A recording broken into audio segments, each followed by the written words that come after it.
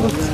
Это мой дедушка, которого я никогда не знала, но и всегда я о нем помнила. О том, каким был ее дед, Ольга знает только со слов матери. Понянчить внуков молодой мужчина с фотографией не успел. В 41-м рядовой Михаил Сосновцев ушел на фронт и не вернулся. 73 года его считали пропавшим без вести. Мама всегда-всегда мечтала найти могилу своего отца. Это была ее прям заветная мечта. Мама Ольги весточки об отце так и не дождалась, но его останки все-таки нашли, и сегодня их вернули на родину. Михаила Сосновцева провожают последний путь как героя всем поселкам.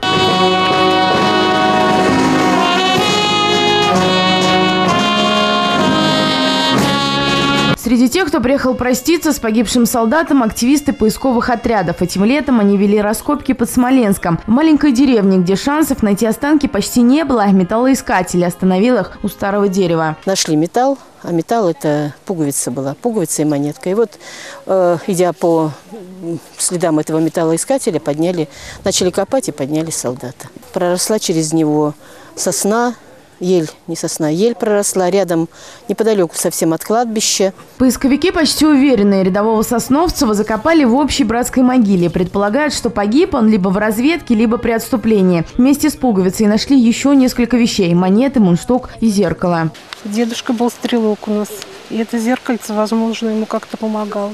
Заржавевшие от старости вещи теперь семейная реликвия. Кстати, именно семья Михаила Сосновцева и настояла на том, чтобы его похоронили именно на сельском кладбище. Поселок Новые Бурасы – его родина. Здесь покоятся его жена и дочка. Жанна Гольцова, Дмитрий Соколов, ТВ-центр, Саратов.